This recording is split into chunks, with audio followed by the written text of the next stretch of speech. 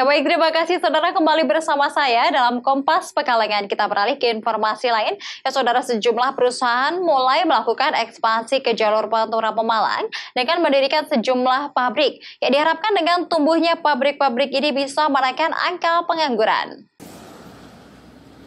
Dari data yang diperoleh dari Kamar Dagang dan Industri Kabupaten Pemalang, ada sekitar 20 pabrik yang ekspansi dari Jakarta, Jawa Barat, ke Pantura. Di Pemalang, rata-rata ialah pabrik garmen dan tekstil. Seperti di BT Cahaya Timur Garmindo ini misalnya, yang memperkerjakan 1.200 karyawan memproduksi pakaian jadi yang diekspornya ke Amerika dan Eropa. Sudah setahun pabrik ini berdiri, memilih Pemalang sebagai lokasi pendirian karena wilayah strategis. Selain itu, daerah Jawa Tengah harga tanah hingga upah pekerjanya dinilai belum tinggi dibanding UMR Jakarta maupun Jawa Barat.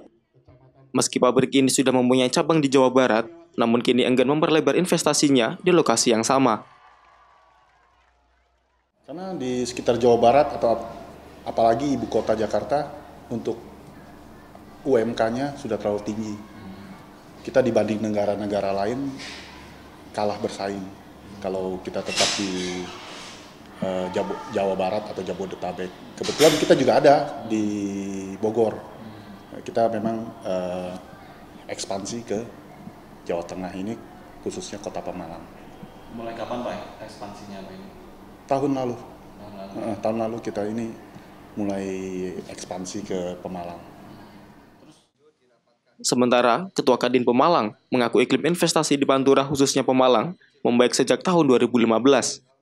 Salah satu alasannya ialah masih banyaknya tenaga kerja, lahan yang luas, serta upah pekerja yang belum tinggi sehingga banyak pabrik yang bertahan dan berkembang yang melakukan ekspansi ke Jawa Tengah. Di lain Pemalang ini menawarkan sebuah uh, daerah yang kondisi sumber daya alamnya baik, kemudian kultur masyarakatnya juga baik, kemudian masih terjangkau harga tanah di Kabupaten Pemalang. Kemudian tersedianya tenaga kerja yang lumayan banyak di Kabupaten Pemalang yang sudah lumayan banyak tenaga-tenaga terampil yang ada di Kabupaten Pemalang yang kemudian bisa bekerja di pabrik-pabrik yang baru berdiri. Menurut Iskandar, pihaknya memprediksi di tahun 2020 akan banyak lagi pabrik-pabrik pindahan ke Pantura. Ia berharap kepada pemerintah agar proses pendirian hingga izin dipermudah karena bisa mengurangi angka pengangguran. Ari Himawan, Kompas TV, Pemalang. Ya, mencari bibit unggul pemain sepak bola, sejumlah sekolah sepak bola mulai menerima pendaftaran. Puluhan siswa usia sekolah dasar di Pekalongan pun mengikuti Akademi Sepak Bola yang mempunyai jenjang karir. Akademi Sekolah Sepak Bola Bina Muda Karangsari Karanganyar, Kabupaten Pekalongan, langsung diikuti oleh anak berusia 9 hingga 14 tahun. SSB baru ini diikuti anak dari sejumlah wilayah di antaranya Kecamatan Kajen dan Wonopringgo. Pihak SSB mengaku mendirikan Akademi Bina Muda sebagai wadah anak-anak sebagai generasi muda usia dini untuk jenjang selanjutnya. Yang paling utama ialah menjadi pemain profesional yang memiliki teknik bermain sepak bola yang memahami etika dan sportivitas. Selain itu bisa menelurkan pemain berbakat dari Kabupaten Pekalongan yang bisa mengharumkan daerah. Pelatih sendiri diambil dari mantan-mantan pemain profesional pada zamannya, sehingga bisa menjadi pemacu semangat pemain. Kita menggunakan pelatih yang berlisensi lokal, tapi kemungkinan nanti kita akan mendatangkan pelatih yang bertaraf luar kota, bertaraf nasional dengan lisensi yang lebih tinggi. Harapannya ke depan Pak untuk anak-anak ini Pak nanti Pak?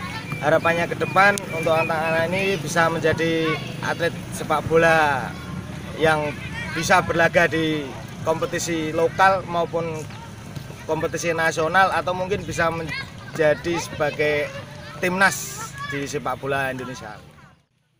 Paling dekat SSB ini akan mengikuti turnamen PWI Cup di Kendal sebagai ajang uji coba mental pemain. Ari Himawan, Kompas TV, Pekalongan. Ya, tuntut kesejahteraan sekolah swasta di Jawa Tengah, ratusan guru swasta seluruh Jawa Tengah menggelar aksi menuntut Gubernur Jawa Tengah untuk meloloskan aturan tersebut. Asalnya sekolah swasta yang di bawah aturan akreditasi tidak mendapat dana bantuan dari pemerintah Provinsi Jawa Tengah. Ratusan guru swasta di Jawa Tengah yang tergabung dalam Forum Komunikasi Guru Swasta Senin siang lalu menggelar aksi di depan kantor Gubernur Jawa Tengah Jalan Pahlawan Semarang. Selain menutup Jalan Pahlawan Semarang, ratusan guru tersebut juga membawa sepanduk tuntutan yang ditujukan kepada pemerintah Provinsi Jawa Tengah. Aksi yang berlangsung damai tersebut mendapat sambutan dari petugas yang berjaga dengan memberikan bunga kepada masa aksi. Tuntutan bantuan yang tidak proporsional, intensif guru swasta, dokotomi, serta bantuan bos untuk sekolah swasta yang dihilangkan menjadi acuan guru swasta dalam aksi tersebut. Untuk meredam aksi tersebut, sejumlah pejabat dari pemerintah Provinsi Jawa Tengah menemui perwakilan masa aksi untuk bisa disalurkan aspirasinya kepada Gubernur Jawa Tengah. Ya kita hanya semacam silaturahmi bersama pembicaraan-pembicaraan akan dilanjut di Musrembang. Insya Allah nanti dari pihak teman-teman dan dari pihak dinas akan berusaha untuk ada kesinambungan. Jadi tujuan kita insya Allah aspirasi akan segera untuk dilaksanakan. Koordinator masa aksi mengaku pihaknya diberikan waktu untuk bisa bertemu dengan Gubernur Jawa Tengah pada masa pelaksanaan musrenbang Maret mendatang. Nantinya pada pelaksanaan musyawarah rencana pembangunan seluruh perwakilan guru swasta akan diikutkan untuk memberikan aspirasi keinginannya. Herwidodo, Kompas TV, Semarang.